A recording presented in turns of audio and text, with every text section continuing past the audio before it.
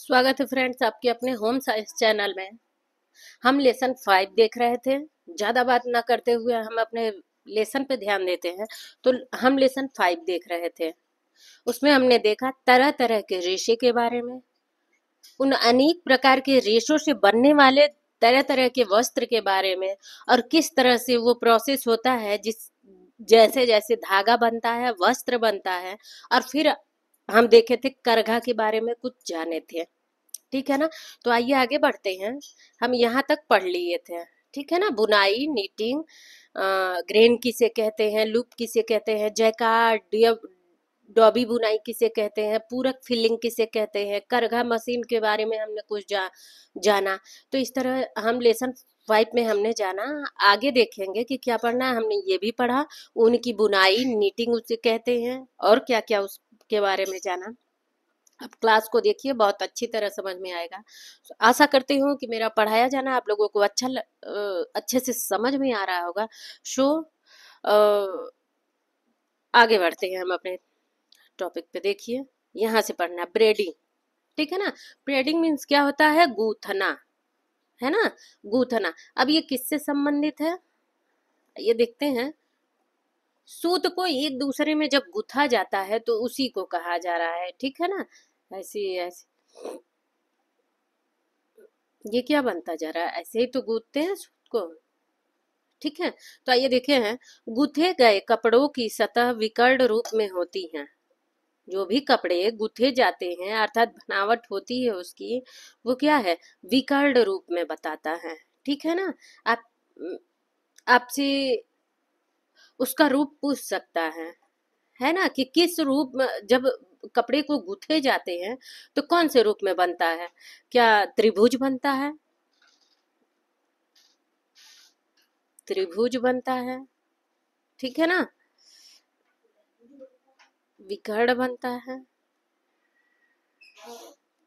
गोलाकार बनता है। है ना? तो ऐसे ही पूछ सकता है। आगे देखते हैं। और इन्हें तीन या अधिक सूतों को गूद कर बनाया जाता है, जो एक स्थान से आरंभ होती है और अंतर ग्रंथित होने से पूर्व समानांतर होती है। ठीक है ना? एक दूसरे में क्या होते हैं? यह अंतर ग्रंथित होते हैं, गुथे हुए होते हैं। अब यहाँ क्या है? एक दूसरे से गुथे हुए होते हैं। जूते के फीतों, अर्थात जैसे जूते के फीते, रस्सियों, तारों के लिए रोधन और झालर जैसे वस्तुओं के वेड़ी ब्रेड दिखाई देती हैं। ठीक है ना? आया समझ में? आगे चलते हैं। हम्म। नेट्स नेट्स मीन्स जाल। इंग्लिश में जानते हैं ना?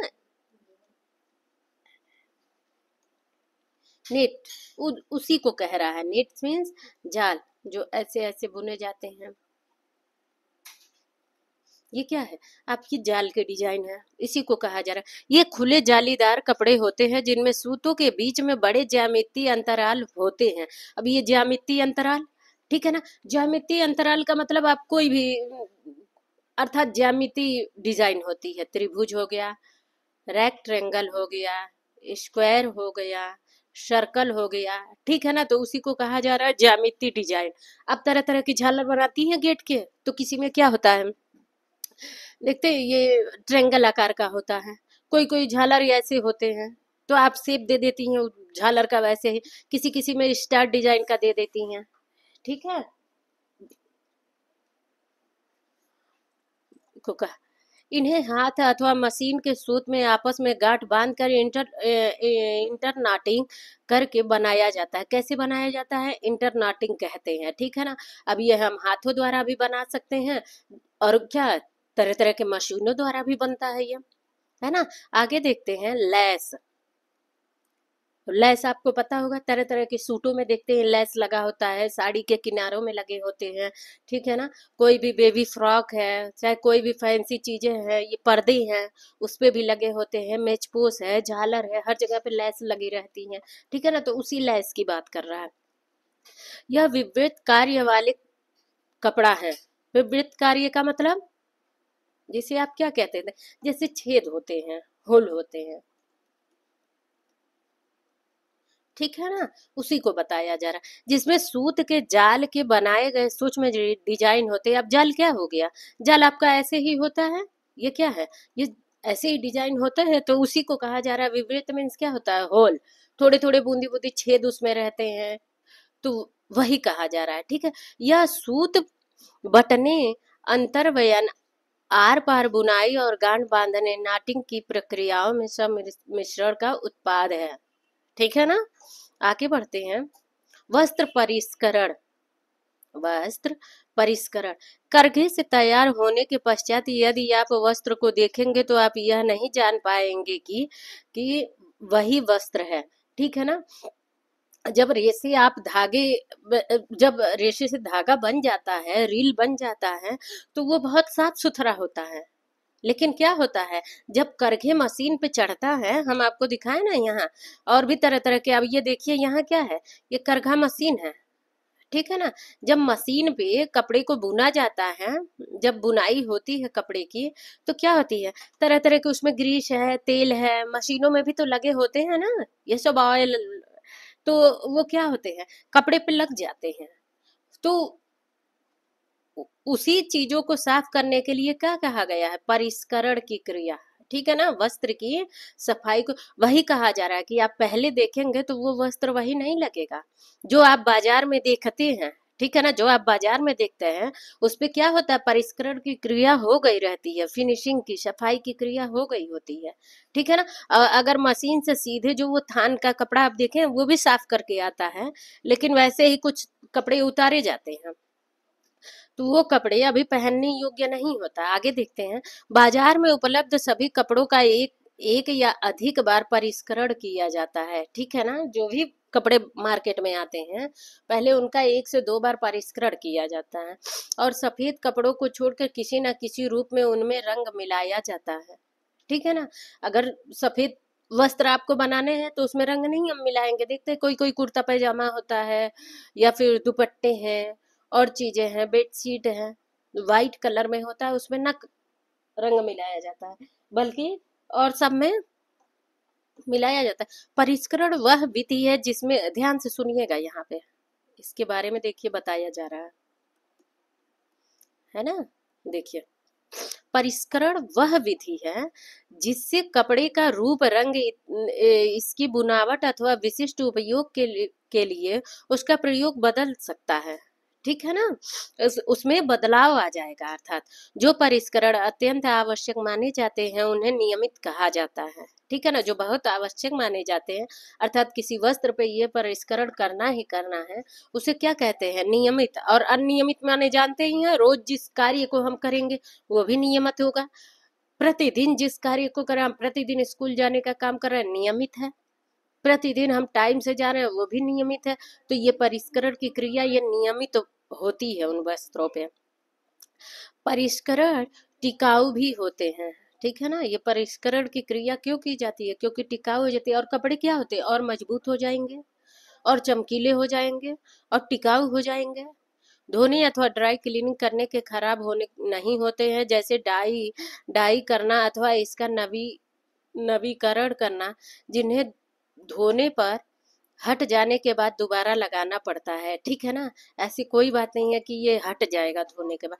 जैसे माड़ लगाना, अब देखिए, माड़ लगाना, स्टार्च लगाना, स्टार्च किसे कहा गया है? अब, पॉलीसेक्राइड को कह दिया गया है, स्टार्च माड़ क्या है? आखिर वही तो है, पॉलीसेक्राइड ही है। तो माड़ लगाना स्टार्च लगाना अथवा नील चढ़ाना, आप अपने दुपट्टे पे लगाती है, किसी और को छोड़िए, आप स्कूल जा रही है ना? यूनिफॉर्म अच्छा चलिए मान लीजिए आपके बिना दुपट्टे वाले यूनिफॉर्म होंगे, लेकिन किसी स्कूल पे दुपट्टे वाले यूनिफॉर्म देखिए ना तो देखती है कोई कोई नॉयलान के रेशे का होता है तो उसमें नहीं हमें मार लगाना पड़ता है स्टार्च नहीं लगाना पड़ता। लेकिन जो भी कॉटन का दुपट्टा होता है, या फिर सूट होता है, साड़ी होता है, उसमें क्या करना पड़ता है? माड़ लगाना पड़ता है। ठीक है ना? स्टार्च लगता है और नील भी लगाते हैं। तो फिर वो क्या होते हैं? हम जब इसका इस्तेमाल कर लेते हैं तो ये फिर छूट जाते हैं। तो वही कहा जा रहा है कि परिष्करण की क्रिया ऐसा नहीं है कि फिर एक बार आप प्रयोग की वो धुल गया। वस्त्र जब तक रहेगा, तब तक उसका मजबूती रहेगा। कार्यों के आधार पर कुछ महत्वपूर्ण परिष्करण इस प्रकार है। अब देखिए कितने कितने प्रकार के परिष्करण होते हैं। अब पहला देख लीजिए, क्या है? पहला रूप रंग में परिवर्तन, अर्थात जो वस्त्र है, उसके रूप में अब ये आपका वस्त्र हो गया, इसके रूप में परिवर्तन होगा, ठीक है ना? रंग में परिवर्तन होगा, है ना?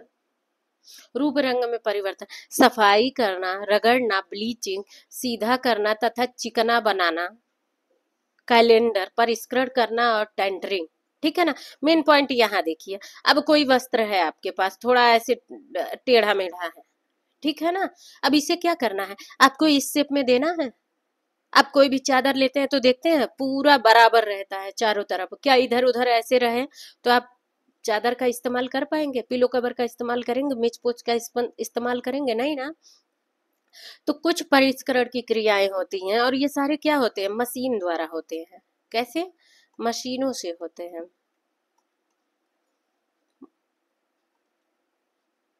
मशीन द्वारा होते हैं, ठीक है ना? अब फिर इन कपड़ों को क्या किया जाता है? खींच के, तान के सही शेप में दिया जाता है। देखिए, क्या किया जाता है? सही शेप में दिया जाता तो उसी को कहा जाता है कि उसके रूप में परिवर्तन। रूप में क्या किया जाता है? परिवर्तन। है ना? समझ में आ रहा है? परिवर्तन। अब इसी रूप के परिवर्तन को हम क्या कहेंगे? टेंटरिंग। ठीक है ना? चारों तरफ़ जब हम बराबर कर देते हैं किसी वस्त्र को या फिर उसकी आकृति को बराबर रूप में आ जाता है, वो अपने सही रूप में आ जाता है तो उसे क्या कहते हैं? टेंटरिंग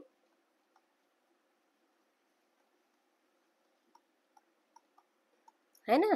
टेंटरिंग और जब किसी वस्त्र को, अब ये कोई वस्त्र है?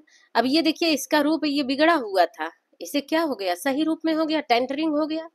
और जब किसी वस्त्र को सीधा, समतल, बराबर कर दिया जाता है, भाई मशीनों से वस्त्र निकलेंगे तो तरह तरह के रोए भी उसमें निकलेंगे। तरह तरह के रोए निकलेंगे, गंदगी निकलेंगे तो उसे क्या किया जाता है? प्रेस करने का काम किया जाता है, ठीक है ना? प्रेस, जो कि बड़े रूप में होता है। और किससे होता है? मशीनों के द्वारा ही होता है ये सारी प्रक्रियाएँ। हाथ से स्वयं थोड़ी ना कर सकते हैं। तो उसे कहते हैं कैलेंडरिंग।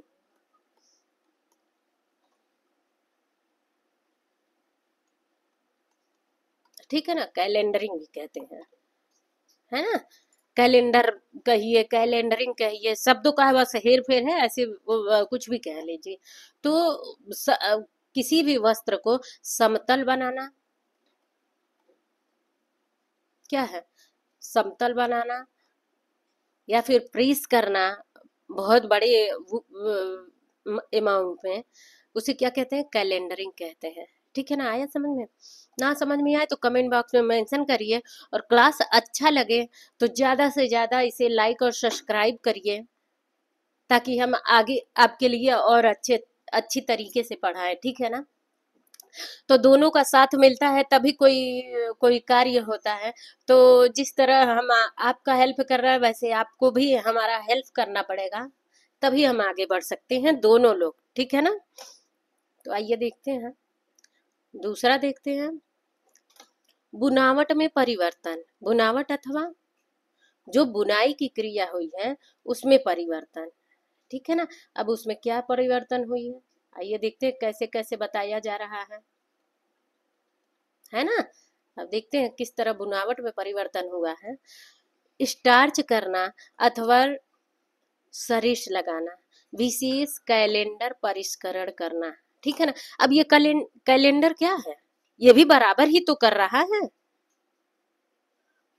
आप किसी वस्त्र पे, आप अपने दुपट्टे पे क्या करती हैं? माड़ लगा देती हैं स्टार्च लगा देती हैं तो आप देखती हैं ना प्रेस करती हैं तो वो दुपट्टा क्या होता है? पूरा बराबर हो जाता है सही से। आप ऐसे फोल्ड करके इसे सही कर लेती हैं। प्रयोग में परिवर्तन, अर्थात आप जिस वस्त्र का इस्तेमाल कर रही हैं, अगर वो सूती है सूती है तो कैसे प्रयोग करें? ऊनी है तो कैसे प्रयोग करें? नायलान है कैसे प्रयोग करें? रेशम है। तो कैसे प्रयोग करें? अब सुनिएगा, इसी बात को कहा जा रहा है। किस तरह? धोना और पहनना स्थायी प्रेस, जल विकर्षण तथा जल रोधक जल रोधक, शलभ अभेद, अग्नि मंदन अथवा अग्निरोधक सिकुड़न मुक्त सेंफोराइजिंग अब देखिए सेंफोराइजिंग की प्रक्रिया क्या कहते हैं? ठीक है ना? प्रयोग में परिवर्तन, आप किसी भी वस्त्र को ले रहे हैं, किसी भी वस्त्र को ले रहे हैं तो उसका प्रयोग कैसे करना है? उसे कैसे करना ये सारी क्रियाएँ अभी आपके लिए नहीं बताया जा रहा। ये सारी क्रियाएँ अभी आपके लिए नहीं बताया जा रहा है। किसके लिए बताया जा रहा है? जो ये यहाँ प्रोसेस हो रहा है, परिष्करण की। जो भी परिष्करण की क्रियाएँ हो रही हैं, अभी वस्त्र बुन के आपके पास नहीं आया है। उस चीज़ को बताया जा रहा है कि किन किन प्रोसेस से आपके वस्त्र मार्केट में आते हैं गुजरने के बाद, ठीक है ना? उसे किस, वो जिस प्रकार के रेशे का रहेगा, उसमें धोने का काम होगा। पहनना, उसमें देखा जाएगा कि वो किस तरह व्यक्ति के लिए आरामदेह है। स्थायी प्रेस अर्थात घर पे आप उस पर कैसा प्रेस कर सकते हैं? आप कोई भी वस्त्र लेते हैं तो देखते हैं ना, वहाँ लिखा होता है, ऐसे आयरन बना रहेगा, वहाँ वॉशेबल नहीं है, इसे ड्राई क्लीनिंग करवाइए। ठीक है ना? ऐसे ऐसे लिखा होता है ना? तो उसी बात को कहा, जल विकर्षण, जल कितना सूखेगा, जल नहीं सूखेगा अग्निमंदक अग्निरोधक है कि नहीं है? है ना?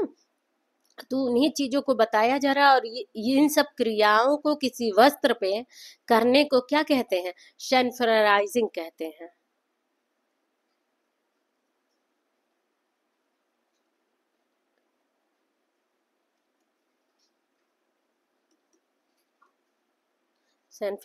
राइजिंग कहते हैं। ठीक है ना? आगे बढ़ते हैं। रंगों में, रंगों से परिष्करण। अब रंगों से परि, कपड़े के चयन में चाहे उसे परिधान के लिए उपयोग किया जाना हो अथवा घर के अन्य कामों में रंग एक महत्वपूर्ण घटक है। रंग हमें क्या करता है? आकर्षण का काम करता है। हम देखते हैं ना, सूट कितना भी अच्छे रेशे का हो, लेकिन उसके साथ हम उसका कलर भी तो देखते हैं। कोई कोई सस्ते में सूट मिलता है, सस्ते में साड़ी मिलती है, सस्ते में बच्चों का टी शर्ट मिलता है, लेकिन कलर अच्छा रहता है तो हमें लेने का मन कर देता है। हल्का फुल्का हम सूट देख लिए फिर हम ले लेते हैं। तो ये भी लुभावना चीज़ होता है। क्या? कलर, जो कि वस्त्र पे लगा होता है। जो पदार्थ कपड़े को इस तरह रंगते हैं कि आसानी से रंग नहीं निकलता, उन्हें डाई कहते हैं। ठीक है ना? और उस रंगाई को, जो कौन सा रंगाई होता है? जो निकलता नहीं है आसानी से। अर्थात स्थायी। स्थायी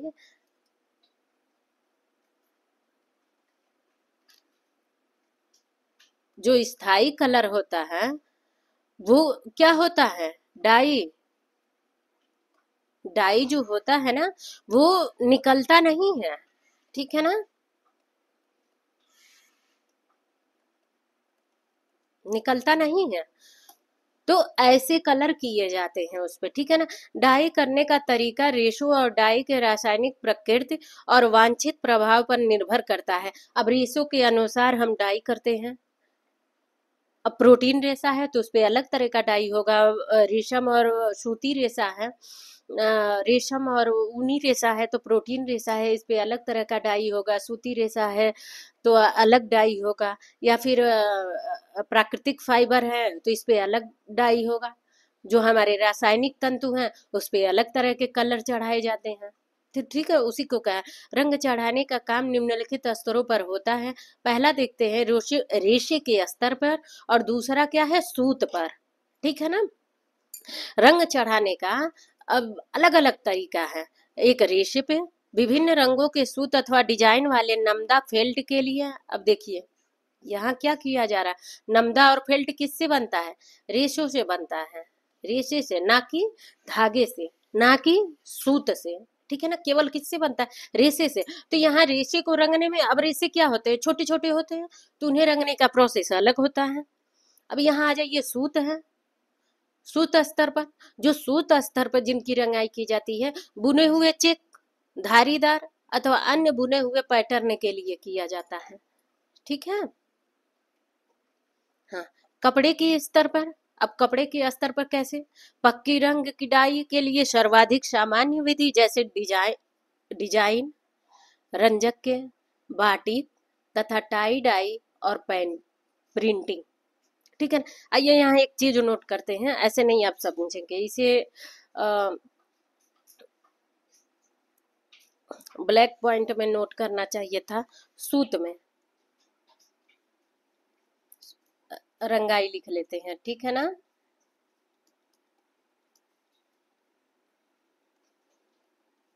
रंगाई प्रक्रिया कैसे होती है? ऐसे ध्यान रहेगा आपको।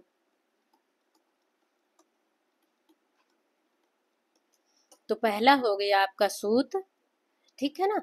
दूसरा हो गया सॉरी पहला हो गया रेशा पहले हम डालते हैं, है ना?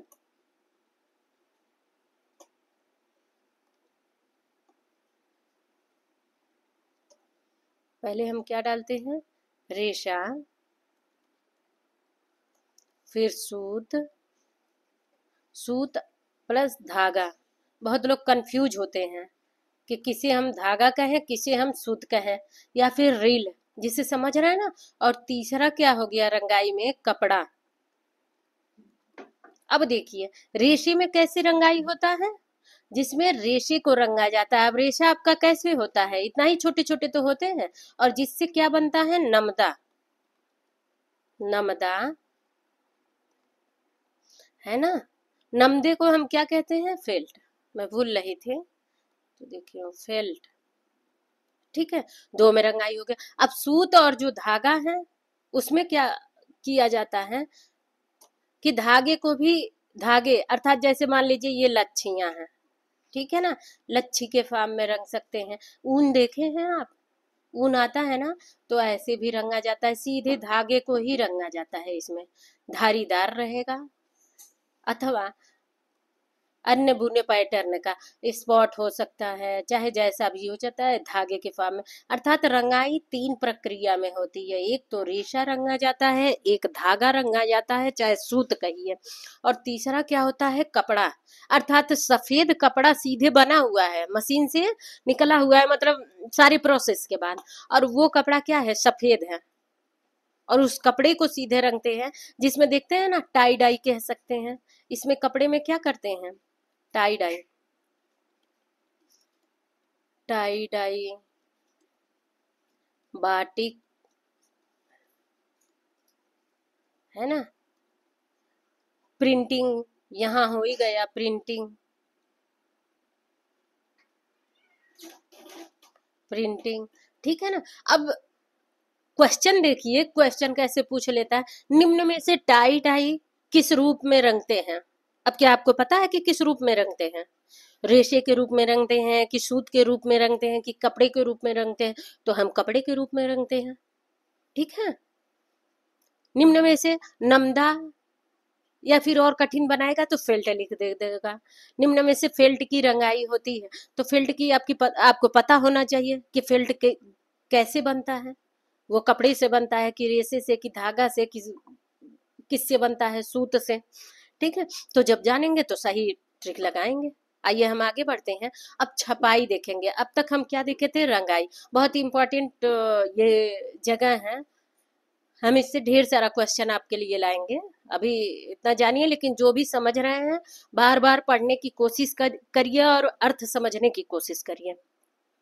छपाई प्रिंटिंग ठीक है ना? छपाई को क्या कहते हैं? प्रिंटिंग अर्थात किसी भी वस्त्र पे कोई वस्त्र है और हम क्या कर दिए? उस पर ठप्पा लगा दिए किसी चीज़ का। ठीक है? तो ये हो गया आपका छपाई प्रिंटिंग यह डाई रंग करने की सबसे उन्नत अथवा विशिष्ट विधि है। इसमें रंगों का स्थानीकृत अनुप्रयोग होता है। जो डिज़ाइन तक सीमित होते हैं, प्रिंटिंग में विशेष उपकरणों का उपयोग होता है, जिससे रंग केवल विशिष्ट क्षेत्रों तक ही पहुँच पाते हैं। अर्थात, हमारे पास कोई चीज़ है, उससे ठप्पा मार दिए तो क्या हुआ, यहीं तक रंग पहुँचा? अब देखते हैं, डिज़ाइन कैसे होता है तो इसी तरह से होता है। जैसा हाथ में उपकरणों द्वारा प्रिंटिंग की जाती है और औद्योगिक स्तर पर रोलिंग, प्रिंटिंग ठीक है ना? औद्योगिक स्तर पर रोलर प्रिंटिंग अथवा ऑटोमेटिक स्क्रीनिंग प्रिंटिंग की जाती है। ऑटोमेटिक का मतलब रोलर का मतलब क्या हो गया? ऐसे रोलर होते हैं। ठीक है, अब आप मकानों को देखते हैं ना, कलर करने के लिए ऐसे कुछ आता है, उस पर प्रेस जैसा ऐसे घुमाया जाता है तो क्या होता है? कलर हो जाता है, ठीक वैसे ही होता है। और दूसरा, ये रोलर भी अलग अलग तरीके के होते हैं, ठीक है ना? और ऑटोमेटिक स्क्रीन प्रिंटिंग है, सीधे वस्त्र डालिए, उस पर छपा छपाया निकल जाता है। आगे बढ़ते हैं। आगे देखा जाए हाँ कपास देख लेते हैं। नेक्स्ट अगला हम अगले लेक्चर में देखेंगे। अब देखते हैं यहाँ पे कपास, कुछ महत्वपूर्ण रेशे, ठीक है ना? जिसमें महत्वपूर्ण रेशों में सबसे पहला क्या दे दिया है आपका कपास? ठीक है। क्या दे दिया? कॉटन। आइए देखते हैं। परिधान और घरेलू वस्त्रों में कपास रेशे का सर्वाधिक उपयोग है। है ही? हम ठंडी गर्मी बरसात हर समय इस रेशे का प्रयोग करते हैं। अदरवाइज़ अन्य रेशों को तो हम बस लेके फ़ैशन के तौर में बस रखे रहते हैं, अटैची और सूट केस में। लेकिन इसे हम डेली यूज़ करते हैं। भारत पहला देश है जहाँ कपास उगाई और उपयोग की जाती है। ठीक है ना?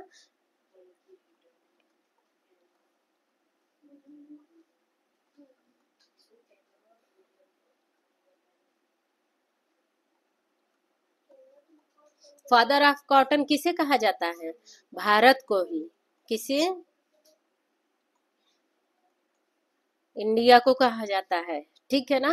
लेकिन पैदावार ज़्यादा अमेरिका में होता है। है ना? चीन में हो सकता है।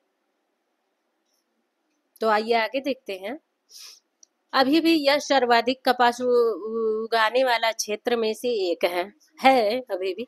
कपास के रेशे में कपास के पौधों में बीज बीज फल से प्राप्त होते हैं। प्रत्येक बीज में काफ़ी मात्राएँ प्रत्येक बीज में काफ़ी मात्रा में रोए होते हैं। अब वो रोए ही क्या होती है? रेशे होते हैं और रेशे क्या होती हैं?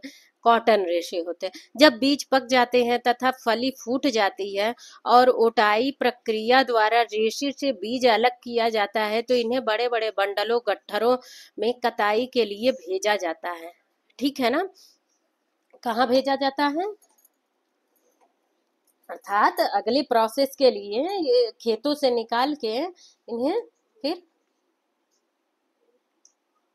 देखिए हम आपको दिखाने की कोशिश कर रहे हैं। देखिए, यही आपका क्या है? कपास है। ठीक है ना? अब यहाँ देखिए, ये फट गए हैं ना यहाँ पे? यही आपका कपास है। कॉटन है आपका। ठीक है? और ये देखिए अभी पोर्ट से हैं। ये फूटे नहीं है। ये सब क्या है आपके? पोर्ट से हैं। ये नहीं अभी फूटे हैं। और जब यही पक के फूट जाते हैं तो ये सारे रेशे क्या हो जाते हैं? फैल जाते हैं, जिसमें बीज होते हैं। ठीक है ना? तो ऐसे ही कपास होता है। अब इनका देखते हैं गुण धर्म जो कि क्या है? बहुत ही इंपॉर्टेंट है। इसे ध्यान से पढ़िएगा। कपास एक प्राकृतिक सेल्यूलोजिक स्टेपल रेशा है। क्या है? स्टेपल रेशा है और क्या है सेल्यूलोजिक रेशा? निम्न में से दे दिया कि सेल्यूलोजिक रेशा। अब आपको दे दिया रेशा, मऊन, नायलान। कपास तो क्या हो गया? कपास पे आप ट्रिक करेंगे। यह सबसे छोटा रेशा है जिसकी लंबाई एक सेमी। एक सेमी से एक सेमी से पाँच सेमी पाँच सेमी ठीक है? तक होता है। इसीलिए सूत अथवा बनाया गया कपड़ा देखने में चमकहीन होता है, ठीक है ना? अब क्यों चमकहीन होगा? अब इसका देखिए, कितने छोटे छोटे रोए हैं। ये देखिए, कितने छोटे छोटे रोए हैं। ये छोटे छोटे रोए हैं ना? और जब इतने ही छोटे छोटे रोओं को आप निकालेंगे तो देखते हैं कितने बड़े बड़े धागे धागे द्वारा क्या क्या वस्त्र बनाए जाते हैं। तो इन धागों को जब बटाई किया, की जाएगी, बटाई तो इसका क्या होती है? मौलिकता, अर्थात जो मौलिकता, जो चमक इसकी मौलिकता वाली होती है ना, वो खो जाती है। अब आप हाथ में बाती बनाने के लिए जब उसे प्रेस करिए, दो बार हाथ को तीन बार, चार बार करिए तो देखिए वो चमक नहीं दिखाई देगा, जो आप कॉटन ऐसे रुई लेके अपने हाथ में अभी बनाने की कोशिश करते हैं। उसके चमक और उसके चमक में देखिए अंतर होता है। ठीक है ना? तो चमकहीन, मैं क्वेश्चन बनाऊँगी, यहाँ से भी, चमकहीन होता, और छूने में थोड़ा खुरदुरा होता है। ठीक है ना? छूने में ये खुरदुरा होता है। यह वज़न में अन्य अधिकांश रेशों की तुलना में भारी भी होता है। अब ये ना जानिएगा कि छोटा छोटा रेशा है तो ये ये क्या होता है? ये भारी होता है, ठीक है ना? अन्य रेशाओं, अधिकांश रेशाओं की तुलना में यह क्या होता है? यह भारी भी होता है। अगला देखते हैं। कपास में नमी सोखने की अच्छी क्षमता होती है, ये आपको पता ही होगा। और यह सरलता से सूख भी जाता है। सही बात है। इसके लिए गर्मियों में उपयोग आरामदायक होता है। हम हर सभी मौसम में पह, पहनते हैं। खैर जो भी हमारा समर का मौसम है इसमें हम ज़्यादा ही इसका प्रयोग करते हैं ये हमारे लिए आरामदेह होता है। लास्ट देखते हैं। भिन्न भिन्न भार मत अर्थात अलग अलग भार के होते हैं सूक्ष्मता के होते हैं बनावट के होते हैं। भाई जहाँ की उपज जैसी होगी आप देखते हैं कहीं इधर उधर वही पेड़ पौधे उग जाते हैं तो उसकी चीज़ें थोड़ी अलग होती हैं। लेकिन किसी पेड़ पौधों में हम खाद दे दें, उसमें तरह तरह के खाद रहे, बीज की अच्छी क्वालिटी रहे तो उसका अलग रेशा हमें मिलेगा, चाहे कोई भी चीज़ रहे, उससे अलग चीज़, थोड़ा हाई क्वालिटी का मिलेगा। सभी वस्त्र कपास के सूत से बनते हैं, जैसे मसलिन। अब देखिए कौन कौन से वस्त्र कप, कपास से बनते हैं? मसलिन, कैम्ब्रिक, पापलिन, लंबे कपड़े, जैसे लट्ठा, कैशमेंट डेनिम चादर बनाने का वस्त्र और परिष्करण और फिनिशिंग सामग्री इत्यादि कुछ सूती कपड़े जो बाज़ार में उपलब्ध है। ठीक है ना? तो इसी को बताया जा रहा है कि कपास के क्या क्या किस किस तरह से कपास कैसे बनता है और कैसे होता है क्या क्या उसके वस्त्र बनाए जाते हैं। ठीक है ना? आज का लेक्चर हम यहीं ख़त्म करते हैं। आशा करती हूँ कि आप लोगों को अच्छा लगा होगा और अच्छा लगे तो ज़रूर फ्रेंड्स लाइक और सब्सक्राइब करिए।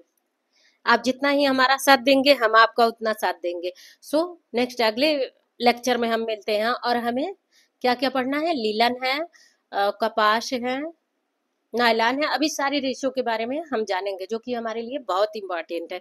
ठीक है? तो अगले लेक्चर में मिलते हैं। तब तक के लिए फ्रेंड्स बाय बाय